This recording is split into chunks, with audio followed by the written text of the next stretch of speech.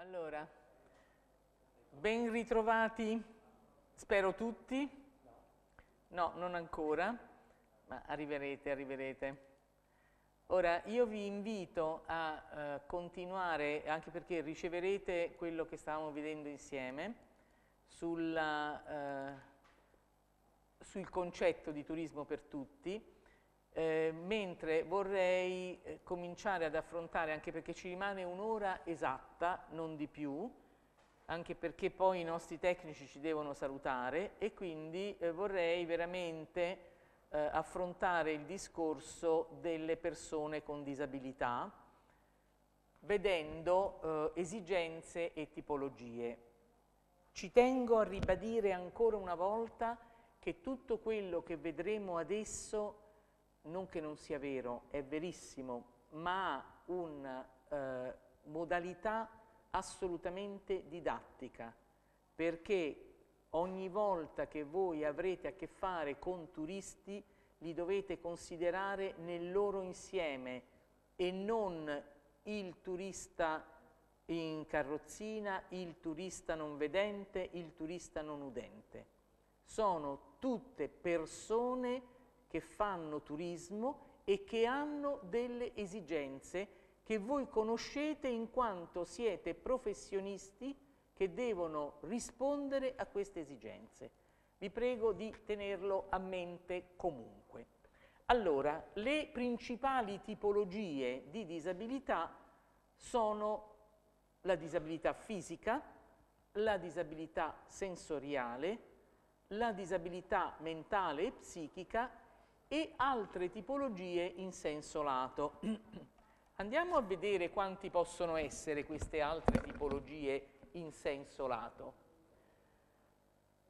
Quante, quali sono le persone a cui serve il turismo accessibile? Qui io non mi sto chiedendo quali sono le persone disabili. Le persone a cui serve il turismo accessibile sono quelle che usano la sedia a ruote, che hanno difficoltà di deambulazione, che hanno disabilità visive, disabilità uditive, che soffrono di asma, che hanno allergie, che hanno delle restrizioni di alimentazione in genere, che possono andare dal diabete alla celiachia a, a tutta una serie di altre eh, questioni personali che richiedono loro di affrontare il cibo in maniera diversa dagli altri ospiti.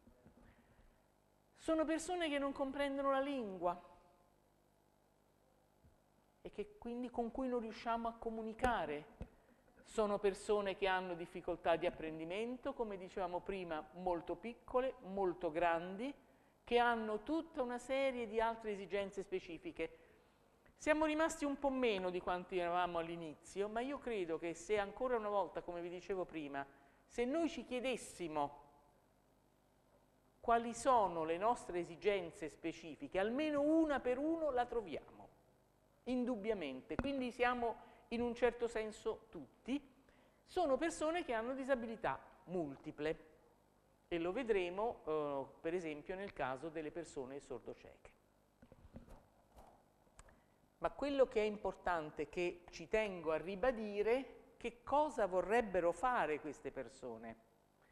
Vogliono andare a fare viaggi, gite con la famiglia, sono tifosi, visto che vengo da, dal Lazio, della Roma o della Lazio, forse qui del Bari o di qualche altra squadra, non lo so. E quindi vogliono andare, per esempio, a fare il tifo per la loro squadra lontano dalla loro città di residenza. Immaginate questo che cosa significa? Significa autobus, significa mezzi pubblici, significa accesso allo stadio, significa dormire, mangiare, eccetera, eccetera, eccetera.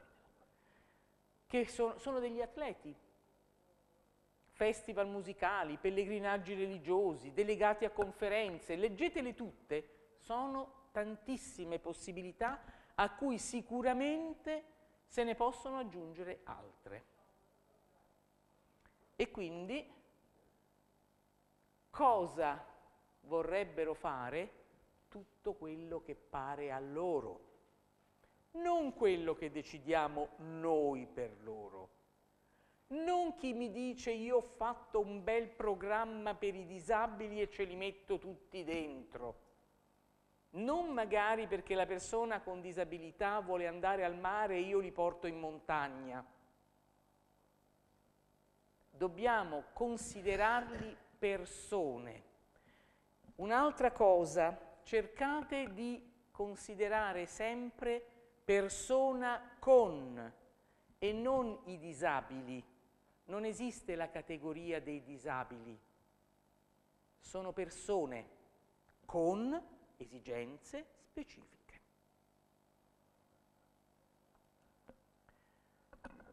Un'altra rappresentazione, allora disabilità fisica, abbiamo detto ridotta mobilità, chi usa la sedia a ruote, c'è una differenziazione di eh, esigenza fra chi usa la sedia a ruote manuale e chi usa la sedia a ruote a trazione elettrica. Perché con la sedia a ruote manuale io ho la possibilità di muovere gli arti superiori, chi usa la sedia a trazione elettrica probabilmente ha questa capacità estremamente ridotta e molto spesso, quasi sempre, non può trasferirsi dalla propria sedia a ruote, come succede invece per chi usa quella manuale che magari guida la macchina.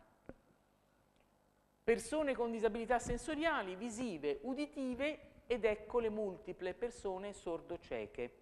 Difficoltà di apprendimento, problemi di orientamento e comunicazione. Qui per esempio è molto importante per chi fa la guida.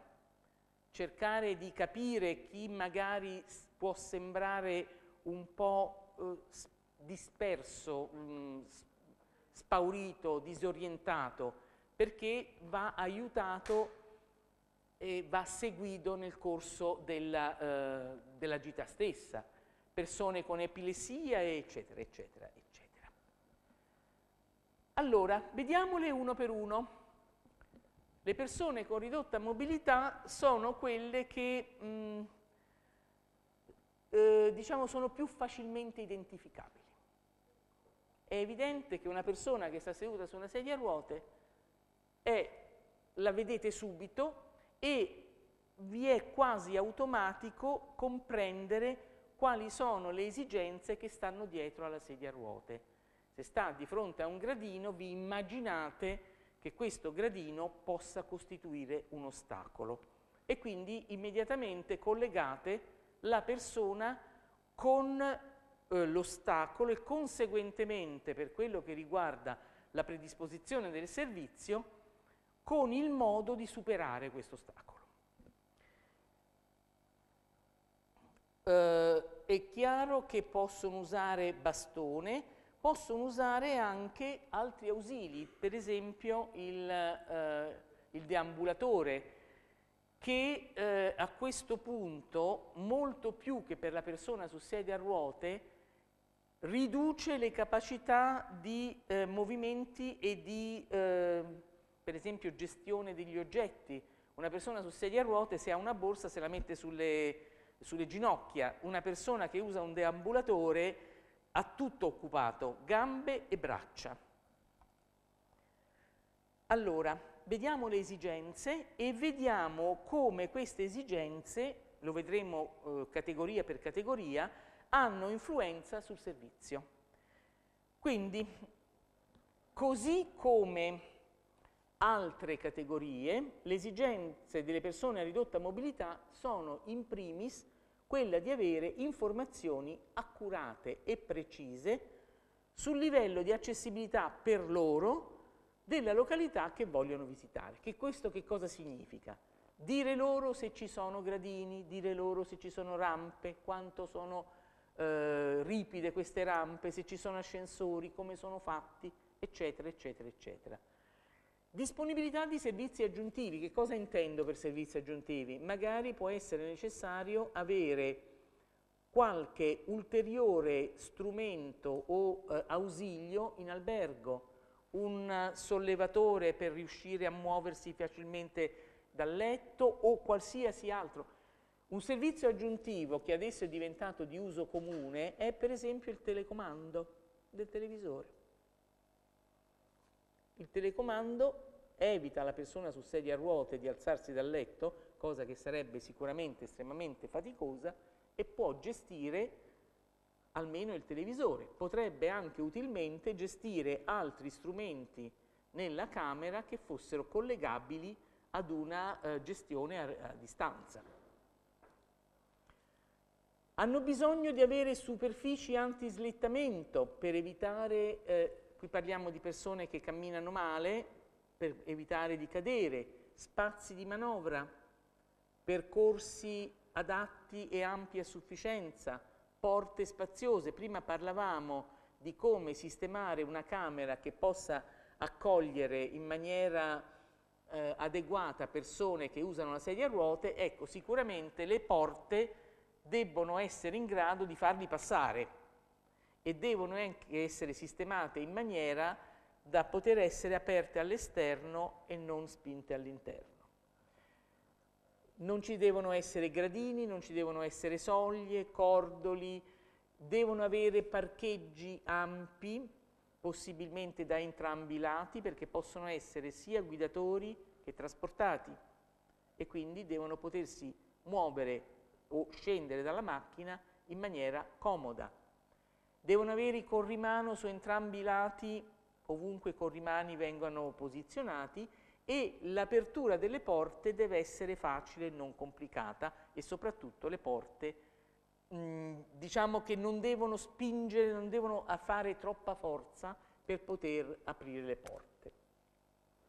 L'area di parcheggio deve essere quanto possibile eh, sistemata il più vicino alla struttura e questo in linea di massima per le strutture alberghiere esiste. Per le altre strutture visitabili è un pochino più complicato. Voi sapete che ci sono dei parcheggi riservati e in genere ogni amministrazione comunale fa in modo di averne un certo numero nelle zone eh, frequentate dai turisti ma anche dai residenti che permettono anche l'accesso in zone limitate al traffico. Ora io non so se a Bari esistano delle zone a traffico limitato, ecco in questo caso la persona con il contrassegno eh, può entrare in quei varchi senza incorrere in nessun tipo di eh, penalizzazione o multa.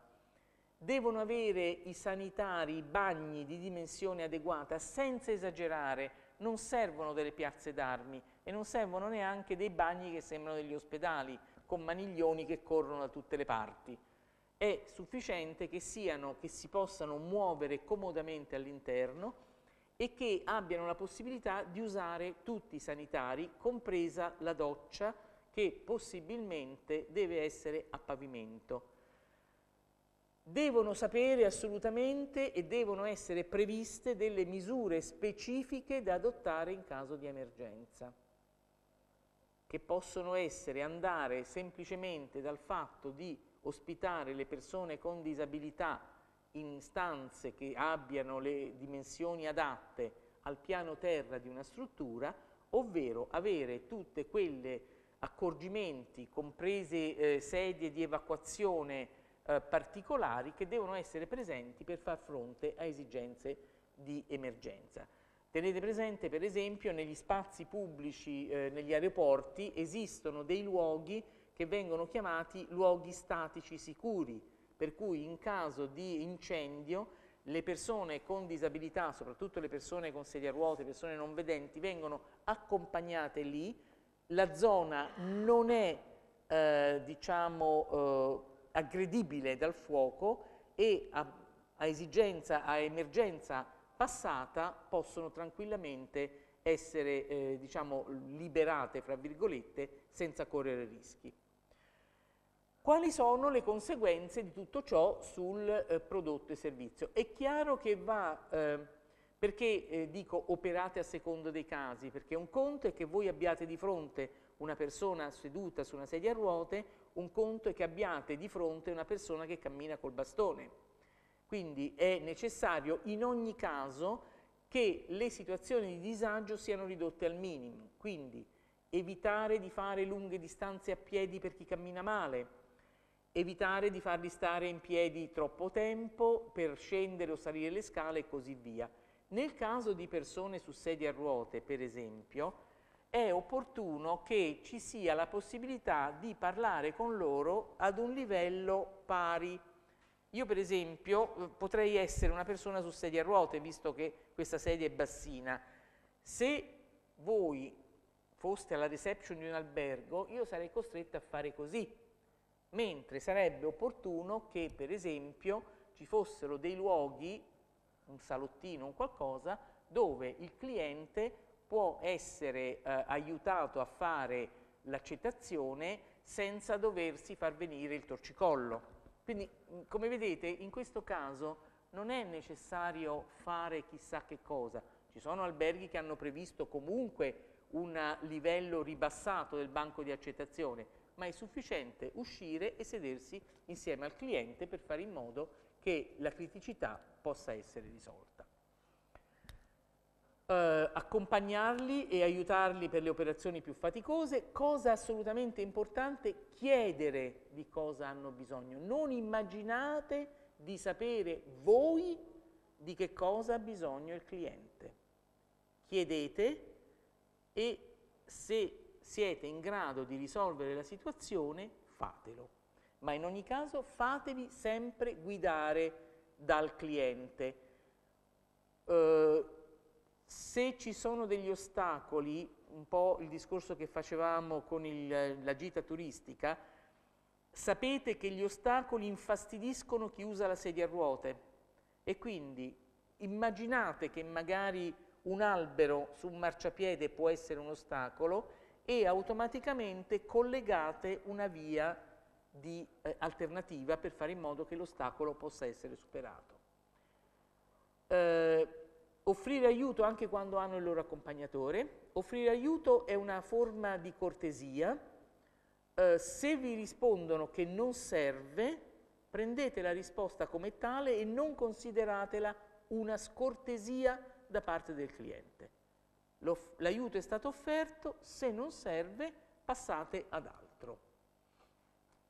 Se dovesse decidere di avere bisogno del vostro aiuto, soprattutto per chi usa la sedia a ruote, la sedia a ruote è una, un ausilio molto delicato, in particolare se è un ausilio eh, che è a eh, trazione elettrica.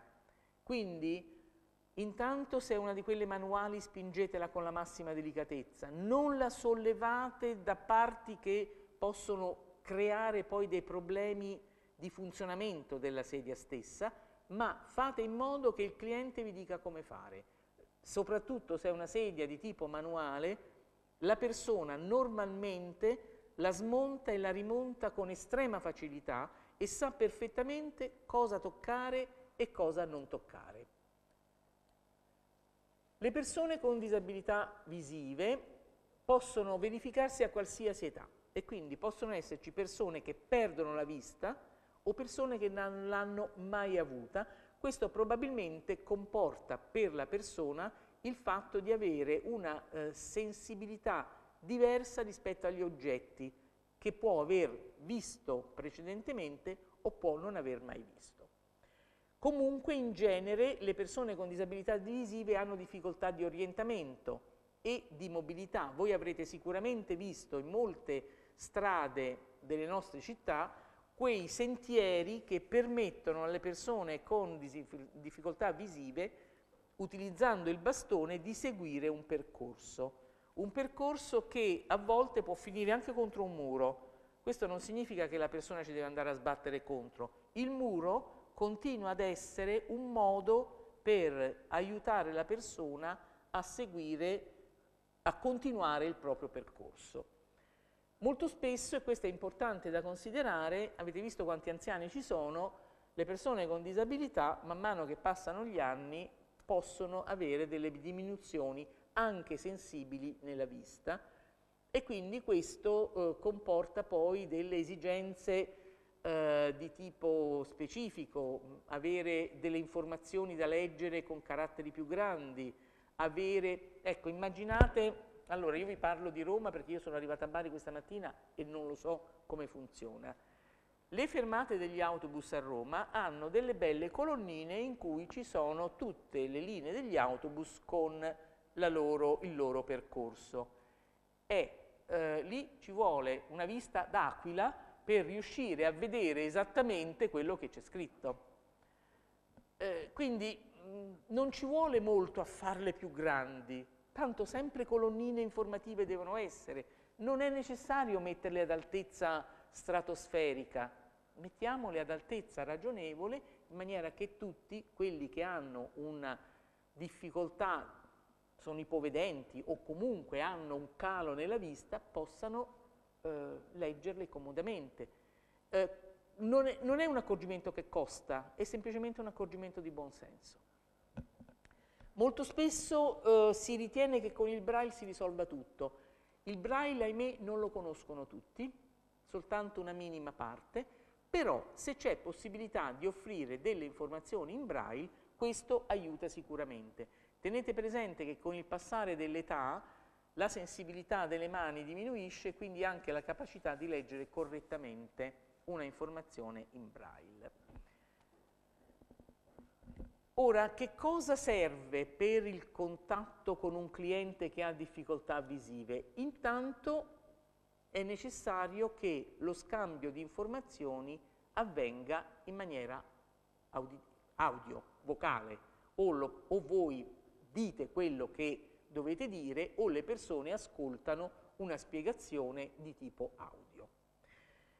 È chiaro che al momento di una visita di un turista eh, piacerebbe loro poter toccare i vari oggetti e i percorsi. Questo è sicuramente utile in una struttura alberghiera perché consente di capire come è fatto l'ambiente in cui andranno a risiedere, ma è ancora più importante che questo sia consentito nelle visite turistiche che vanno a fare. Non tutti i musei o le gallerie consentono di toccare gli oggetti, però è un discorso che sta prendendo più piede. Eh, per esempio i musei vaticani hanno alcuni oggetti, eh, diciamo statue fondamentalmente, che sono state adibite alla possibilità per le persone non vedenti di toccarle.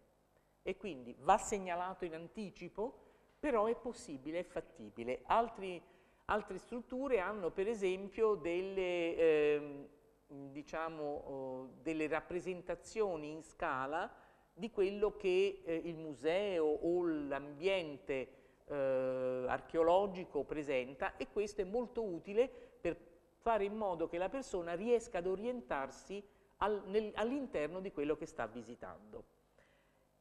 Eh, è possibile per chi ha ehm, diciamo, problemi di eh, ipovedenza, questo per esempio è molto utile come vedete il pavimento è grigio, la striscia è gialla, le sedie sono di colore diverso, le pareti sono di colori diversi e contrastanti. Un ambiente di questo genere è favorevole, è amichevole per una persona ipovedente. Eh, quando si tratta di parlare loro è chiaro e dobbiamo dare spiegazioni chiare. Il bicchiere si trova alla sinistra a eh, più o meno 20 cm dal bordo del tavolo, il mouse è di fronte alla persona a 10 cm dal bordo del tavolo e a 5 cm dall'inizio del computer, in maniera che la persona riesca a capire dove stanno le varie cose e eh, possibilmente questo se domani ce la facciamo, visto che i tempi corrono in maniera drammatica, vedremo anche un piccolo esempio eh, di quello che non va fatto e quindi faremo una specie di lavoro di gruppo tutti insieme per capire come alcune situazioni vanno gestite. Oh, I bordi dei gradini devono essere dipinti di colori contrastanti, le porte delle camere le porte degli armadi, i pannelli di controllo degli ascensori devono avere lettere in rilievo, essere, eh, deve essere possibile per la persona sapere che piano spinge e poi molti ascensori hanno questo, ma al momento in cui arrivano al piano tacciono. allora siccome io non so quanti piani ha fatto il mio ascensore o se c'è qualcun altro che ha spinto altri piani, basterebbe semplicemente, oltre a permettermi di schiacciare il piano giusto, dirmi anche che sono arrivato al terzo piano. Così scendo nel piano che io ho scelto. Non serve anche qui eh, per le compagnie di ascensori questo ulteriore accorgimento non costa. Si tratta solo di farlo inserire, di considerare che una persona non vedente non vede ma sente e quindi diciamoglielo dove è arrivato. Allora, che cosa succede per noi? E cerco di accelerare, quindi intanto questo vale per tutti, sempre e comunque, parlare alla persona e non all'accompagnatore. La persona che abbiamo di fronte è il nostro cliente, entrambi sono clienti, ma quello che ci ha pagato per la, il discorso che vi ho fatto prima, io seduta non ci riesco a stare tanto, per il discorso che vi ho fatto prima, se io debbo uh, fare in modo di avere un accompagnatore che non sia un membro della mia famiglia, probabilmente devo sopportare anche le sue spese di viaggio, ma sono sempre io il cliente, quindi è a me che dovete rivolgere le domande, è a me che dovete parlare e a me che dovete spiegare il servizio. Cercate di eh, fare in modo che la persona sappia che siete lì, se vi dovete allontanare avvertitelo, perché altrimenti può darsi il caso della persona che continua a parlare e voi non ci siete più e questa persona parla al vento. Se dovete accompagnarlo da qualche parte, offritegli il braccio e fate in modo che lui vi dica come si può appoggiare se voi, lui a voi o voi a lui. E guidatelo, possibilmente stando un momento dietro della persona. Quando gli, eh, parliamo di un albergatore, quando gli dovete eh, spiegare come è fatta la camera, indicate in maniera molto chiara, possibilmente seguendo riferimenti precisi, le lancette dell'orologio, nord, sud, est, ovest, dove sono i mobili, fateglieli toccare e lasciateli lì, o quantomeno lasciateli lì al momento in cui le descrivete. Se poi la persona vuole spostare questa sedia, continuate a lasciarla dov'è, perché se la persona l'ha spostata, l'ha memorizzata dov'è, e se anche diciamo che mh, non è il massimo con l'armonia della stanza, lasciatela dove l'ha messa il cliente. Anche nel riordino, anche nel riordino. Personale, bravissima, il personale di servizio va informato. Ora, tutto questo io lo sto dicendo a voi, ma attraverso di voi è chiaro che tutte queste informazioni devono arrivare anche a tutti i vostri collaboratori, perché il manager, il responsabile di una struttura, quale che essa sia, non fa tutto lui, non deve neanche fare tutto lui, ma è assolutamente importante che tutte le persone che dipendono da lui sappiano quello che sa lui e si comportino esattamente come lui ha imparato a doversi comportare nei confronti di alcuni eh, clienti. Quindi ehm, a questo punto eh, abbiamo detto più o meno tutto.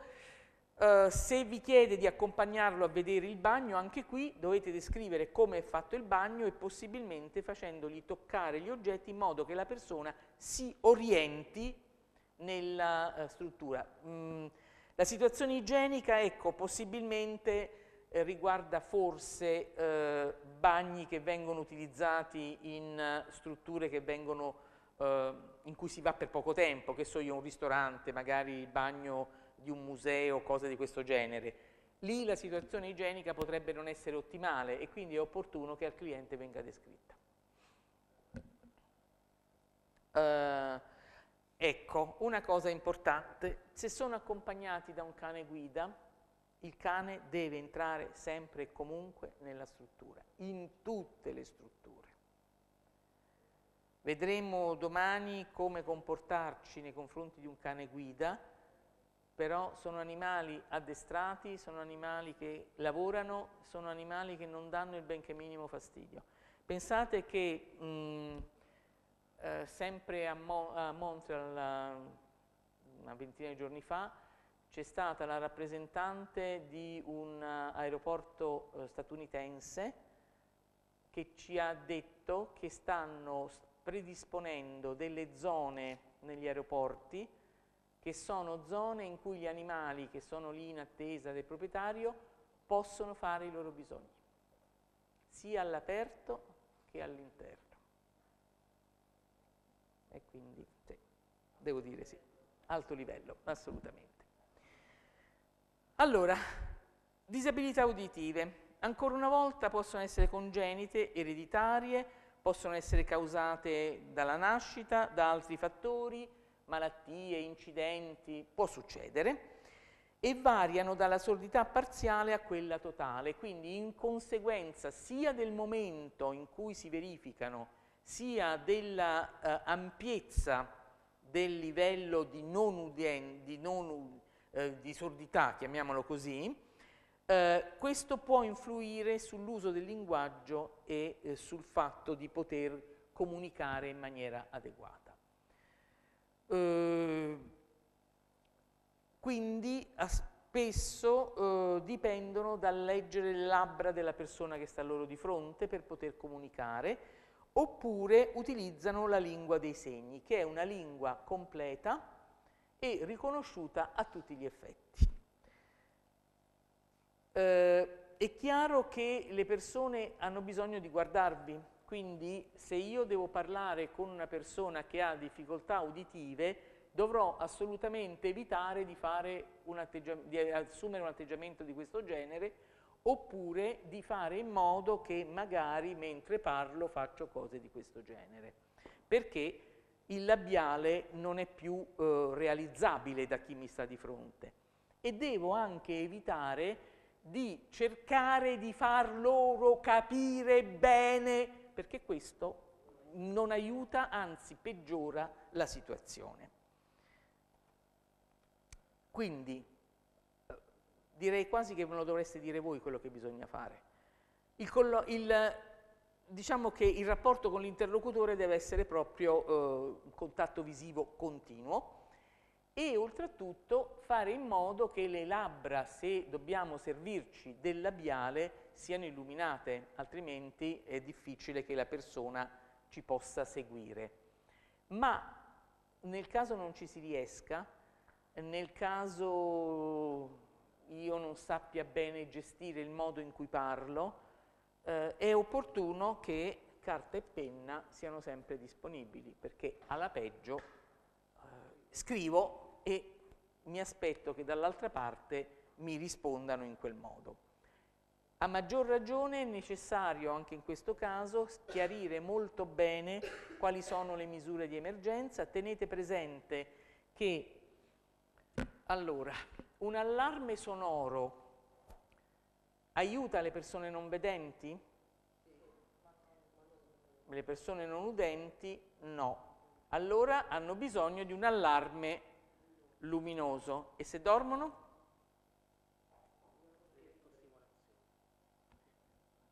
Una cosa che vibri. Per cui, oppure dormono o sono girate dall'altra parte. Quello è là e io non lo vedo.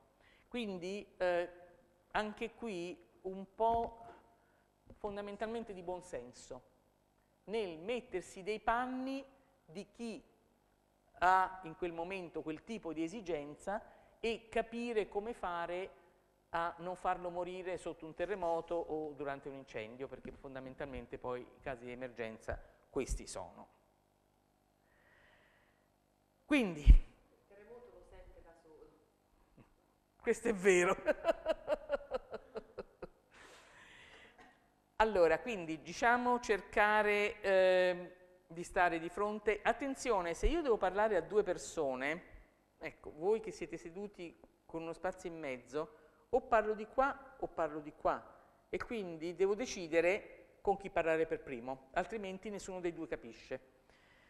Eh, ancora una volta eh, fate in modo che il labiale, io non saprei leggere un labiale francamente, certe volte faccio la prova quando guardo la televisione, tolgo l'audio e cerco di capire, non capisco assolutamente nulla.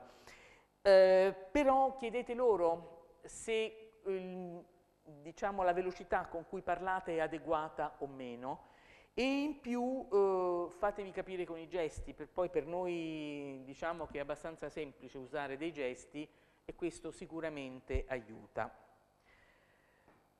Un'altra cosa, dovete cercare di capire bene se la persona ha capito bene e quindi pronti a ripetere anche più volte perché soprattutto se state spiegando qualcosa di importante è assolutamente necessario che la persona sappia e abbia compreso quello che state dicendo.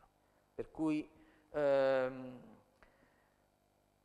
mm, qui c'è un altro appunto sulle persone anziane che di solito non ammettono di non sentirci più bene e quindi ancora una volta siate certi che quello che spiegate sia stato compreso, sia stato compreso nella maniera giusta. Se dovete spiegare qualcosa, e questo è importante, un meccanismo, magari anche il funzionamento di quei meccanismi per rispondere al telefono, allora è chiaro che una persona se guarda il meccanismo non può seguire le vostre labbra e quindi o spiegate prima con il labiale il meccanismo e poi glielo fate testare, ma fare le due cose contemporaneamente potrebbe assolutamente non essere utile. Ancora una volta se c'è un interprete parlate al cliente e state molto attenti al momento in cui ci sono degli apparecchi acustici perché interferiscono con i rumori della stanza e quindi eh, è importante che non ci siano troppi rumori convergenti, la radio che suona, gli annunci, perché se no questo crea confusione e correte il rischio che il vostro linguaggio non sia capito. La lingua dei segni. Sulla lingua dei segni abbiamo avuto una lunghissima conversazione prima con la collega. Molto spesso io mi sento dire che mettendo una persona che parla la lingua dei segni in albergo o in qualsiasi altra struttura aperta al turismo, ho risolto tutti i miei problemi. Allora, tenete presente che la lingua dei segni è una lingua nazionale, cioè in Italia si parla in un modo, in Spagna si parla in un altro. Qui sono eh, riportati due esempi, la parola mamma e la parola albero, come si segna in Italia, negli Stati Uniti e così via, sono tutti diversi. Perché? Non lo so, però sta di fatto che il fatto che sia una lingua nazionale fa sì che se io metto un interprete dei segni che parla la LIS, la lingua italiana dei segni, viene compresa solo dagli italiani. Quindi non ho risolto tutti i miei problemi. Come? Come? La la la la la la microfono.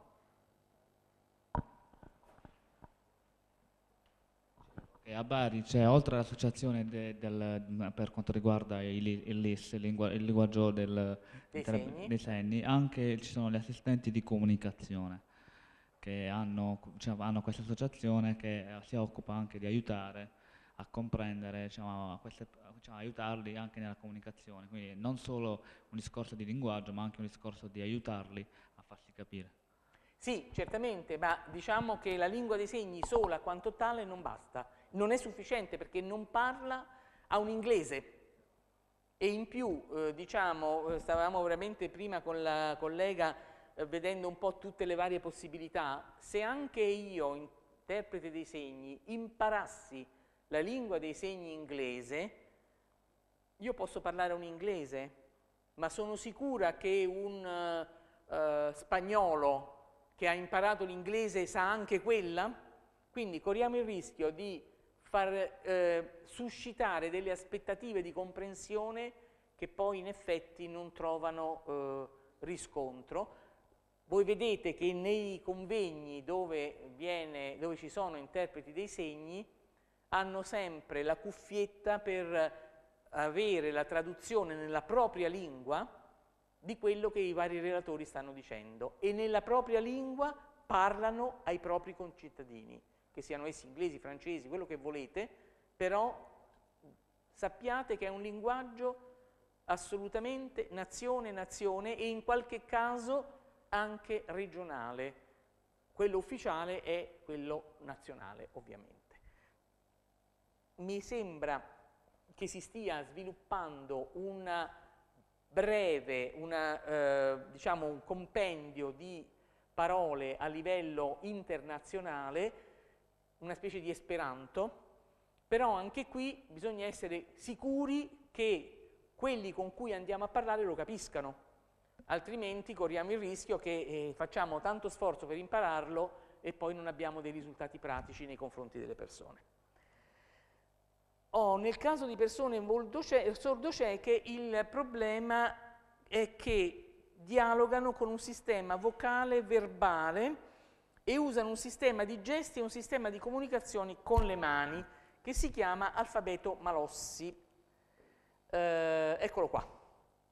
Allora, sulla mano ci sono dei vari punti che corrispondono alle varie lettere che sono di colore diverso quelle che sono in nero vengono toccate, quelle che sono in rosso vengono pizzicate e le persone in questo modo riescono a, a colloquiare. Sì? Beh, eh, immagino che voi, o almeno qualcuno di voi, avrà sentito parlare della Lega del Filo d'Oro. Sì? Ah, ecco. Eh, la Lega del Filo d'Oro fa tantissimo e molti delle persone che sono che appartengono alla Lega del Filo d'Oro eh, hanno un, un, ottimo livello di indipendenza, quindi eh, si può fare. Allora, difficoltà psichiche, lo stavo dicendo un po' prima quando abbiamo affrontato altro discorso, non è facile individuare queste come altre tipologie di disabilità che possono essere, eh, diciamo, nascoste fino al momento in cui non si manifestano con espressioni che a volte possono anche essere estreme e quindi possono mettere sicuramente in difficoltà eh, l'operatore dei servizi, qualunque essi siano. Eh, è chiaro che eh, dobbiamo cercare, dovrete cercare di avere con le persone che hanno questa tipologia di comportamento degli atteggiamenti amichevoli, mh, mm, non bambineschi, bisogna trattarli in maniera naturale, affettuosa ma senza esagerare, senza baci e abbracci per intenderci, perché quello può poi essere visto in un modo, eh, al momento in cui non ci sono più, può essere risentito in maniera molto forte. Quindi loro hanno semplicemente bisogno di essere i benvenuti, di sentirsi accettati, eh, però anche qui con misura, ok? E usare segnali semplici per colloquiare con queste persone. Molto spesso è necessario fornire informazioni in linguaggio eh, semplificato e questo mi riferisco particolarmente a voi che fate le guide, l'avevamo già detto prima, eh, in questo caso ovviamente avendo di fronte a voi un gruppo composito dovete cercare di semplificare il linguaggio senza banalizzarlo e quindi al limite fare anche un po' di esercizio prima per fare in modo di parlare a loro e parlare a tutti nello stesso modo. Allora, vediamo un po', aiuto? Volevo, eh, vediamo un attimo, eh. ecco qua. Volevo fare, eh, volevo che vedessimo in linea di massima quelli che sono gli aspetti dal punto di vista manageriale di una buona accoglienza. Che cosa si deve portare dietro? Sicuramente si deve portare dietro il fatto che esistano gli addetti a tutti i vari servizi che sanno di che cosa parlano e sanno come comportarsi. E questo viene o da formazione di questo genere, magari anche più approfondita, o da una formazione top down che può avvenire attraverso il manager stesso. Al momento in cui un manager decide che la propria struttura, quello un po' che avevamo detto, ci avevamo detti prima, che si vuole aprire ad un mercato che sicuramente comporta delle conoscenze più approfondite e al limite la necessità di risolvere delle criticità maggiori, è chiaro che non può rimanere un discorso chiuso nella stanza del manager, ma deve arrivare a tutte le persone in tutti i livelli di servizio della struttura. E come struttura non parlo solo di struttura alberghiera, ma qualsiasi eh, struttura in cui la persona arriva, accede, esce e gode tutto quello che c'è dentro. Quindi i bigliettai, del, la biglietteria del museo, piuttosto che la reception di un albergo, piuttosto che l'autista di un taxi, devono essere in grado di far sì che la persona trovi il servizio che si aspetta. Ovviamente lo trovi come? Con un taxi che sia utilizzabile da tutti, con un museo che sia utilizzabile da tutti, con una struttura alberghiera o una struttura pubblica, uno stadio che sia utilizzabile da tutti. Cioè le due componenti non possono essere scisse, dobbiamo avere una componente fisica ed una componente comportamentale che vanno assolutamente di pari passo. Oltretutto, e questo anche mi sembra un'affermazione abbastanza banale se vogliamo, ma per esempio un ambiente in cui i mobili sono posizionati in maniera sensata migliora la funzionalità dell'ambiente stesso, può essere più piacevole per tutti. A me è capitato di vedere un albergo, due alberghi, diciamo, eh, a Roma.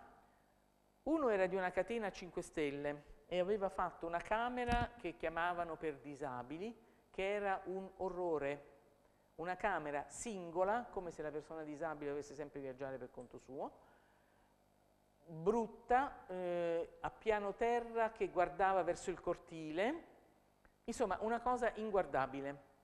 E c'era un altro albergo che aveva fatto una camera, mh, mentre il primo di cui vi parlavo era un 5 stelle, costretto da, eh, come dire, da una policy di gruppo a avere comunque una camera accessibile, quindi l'hanno fatta. Un altro, 4 stelle, che aveva una camera francamente bellissima, una camera in cui era piacevole stare, in cui non solo l'ospite disabile, ma qualunque ospite avrebbe pagato di più per avere quella. Quindi, oltre a tutto, questo che cosa comporta dal punto di vista economico? Che se io faccio qualcosa di bello, non me la devo tenere da parte finché arriva la persona con disabilità, perché gli altri non ci vogliono entrare. Io devo avere una camera o più camere che siano confortevoli, che siano piacevoli, che siano esteticamente accettabili, in modo che le vendo sempre, quando ho l'ospite con disabilità e quando non c'è. Altrimenti poi noi spesso ci sentiamo fare eh, critiche da parte degli operatori, eh ma io questa stanza ce l'ho sempre vuota, eh ma se questa stanza è brutta nessuno ci vuole andare. Mm, non è molto più complicato che questo, francamente. E se dovete fare qualcosa, fatevi consigliare da un esperto. Fatevi consigliare da chi queste cose le ha studiate. Ci sono tanti corsi per architetti. A Roma c'è da vent'anni un corso post lauream sulle barriere architettoniche. Le persone che escono da questi corsi sono in grado di darvi un consiglio che non vi fa spendere patrimoni, ma che risulta poi in situazioni piacevoli per tutti. Allora, ecco, anche questo, eh, alcune modalità, aree di parcheggio riservate vicino all'entrata o la possibilità di arrivare con la macchina fino all'entrata. Percorsi senza ostacoli, buona illuminazione, possibilità di sedersi e riposarsi nelle zone pubbliche, segnaletica per fornire informazioni e direzioni che possano essere facili da trovare, bagni facili da individuare. Attenzione, questo bagni facili e cose facili da trovare servono per tutte quelle persone che hanno difficoltà di orientamento, per tutte quelle persone non udenti che se stanno in strada devono basarsi sui cartelli per, scapi- per capire dove devono andare, perché se chiedono a qualcuno magari non ci riescono a scoprirlo. In un aeroporto le indicazioni devono essere utili per tutti. Voi dovete considerare la persona che si muove da sola. E se anche ha l'accompagnatore, fate conto che non ci sia. È come se la persona fosse sola e deve autonomamente raggiungere l'obiettivo di quello che sta facendo in quel momento. Ok? Ci siamo? Allora. Io questa la spegnerei qua e vorrei farvi vedere molto rapidamente di quello che non siamo riusciti a fare, proprio 10-10-10 minuti. Ah, vediamo un attimo. No, non questo. Questo non riesco a gestirlo. Arrivo, eh? Allora, non voglio entrare nel discorso dove sei? Qua. No, no, per carità, la normativa no, ve la riparo, però volevo alcune, alcune funzioni sì, alcune eh, diciamo cose. ICF. L'ICF è la classificazione internazionale del funzionamento della disabilità e della salute. Tenete presente che attualmente sulla base dell'ICF si determinano anche tutti i livelli di eh, disabilità e quello che uno riesce o non riesce a fare nella sua vita sociale e lavorativa. Eh, va in base a tutta una serie di funzioni che considerano la persona, quindi le funzioni fisiologiche, le strutture corporee, le menomazioni che sono problemi legati alle singole funzioni. L'attività che una persona deve cogliere, deve compiere e le limitazioni all'attività. Allora, dove stanno queste limitazioni all'attività? In parte stanno nel fatto che se io non cammino, non cammino. Ma se io non cammino e mi siedo su una sedia a ruote, la mia capacità di movimento l'ho risolta. Giusto? In teoria perché? Perché se trovo un gradino non posso più andare, ma il gradino è me? No, il gradino è fuori di me. Ok? Quindi la mia capacità di partecipazione me la sono garantita. La, il limite alla partecipazione non è mio, viene dall'ambiente esterno. Quindi questa classificazione che cosa fa? Mette in funzione la persona che è quello che è. Se io non cammino, non cammino, non lo posso negare, con l'ambiente che non mi consente, nonostante quello che io faccio, di partecipare. Quindi la rivoluzione di questo sistema è quello che la disabilità non è più centrata sulla persona, ma è praticamente centrata sulla capacità o meno della persona di partecipare alla vita sociale. E quindi Esattamente, quindi l'ambiente può costituire un facilitatore, l'autobus mi fa salire a bordo, oppure costituisce un ostacolo ma sicuramente quello che è importante è che non è più la persona il focus, ma è l'ambiente che non permette. E questo è un concetto che va compreso fino in fondo. Non è colpa tua, ma è colpa di quello che ti circonda e quindi quello che va considerato e che va cambiato è quello che ci circonda.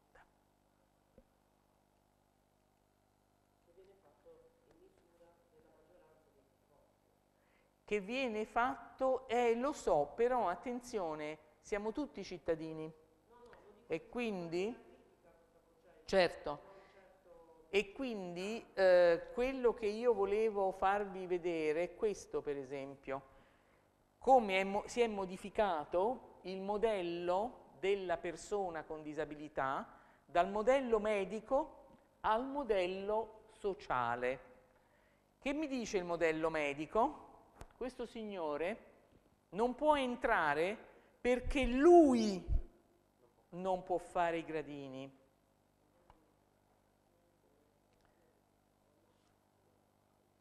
Il modello sociale dice che io non posso entrare, lui non può entrare perché ci sono le scale. Eh, fino al 2002 non era così chiaro. Certo. Allora, diciamo meglio, l'handicap è l'edificio, perché molto spesso si sente parlare voi non l'avete detto, devo dire, a vostro onore, portatore di handicap. No, no non più, l'handicap non porto proprio niente, l'handicap mi sta di fronte. Ok? Eh, diciamo eh, sì, nel golf devo dire vantaggio. Allora, Eh,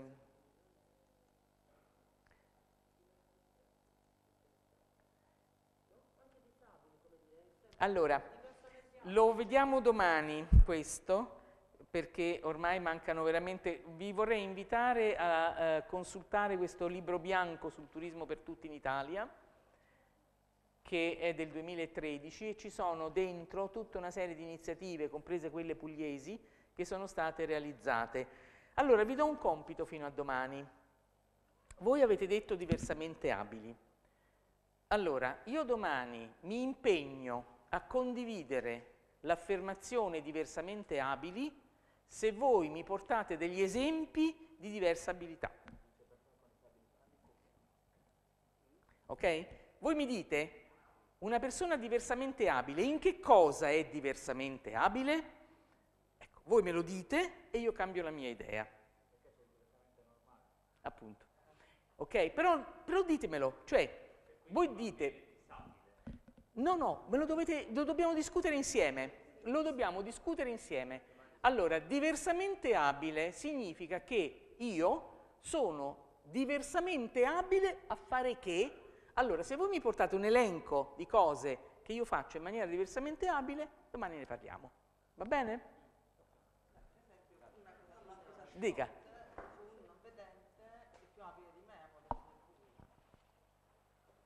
Eh, si muove lo stesso, però si muove, si muove. Non è, diversamente, non è che si muove in maniera diversa, si muove.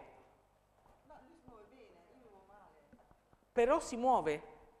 l'attività è, la, è il movimento, dico bene? E non è diverso, è movimento. Allora, adesso un attimo, scusate, un attimo che devo chiudere e lo devo fare in maniera ufficiale. Ci vediamo domani eh, pomeriggio al castello di Conversano? Bene, sarò felice di vederlo.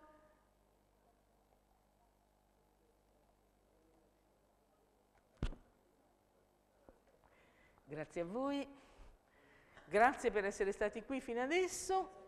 Mi raccomando il compitino perché domani me lo aspetto, oltre al fatto di muoversi nel buio.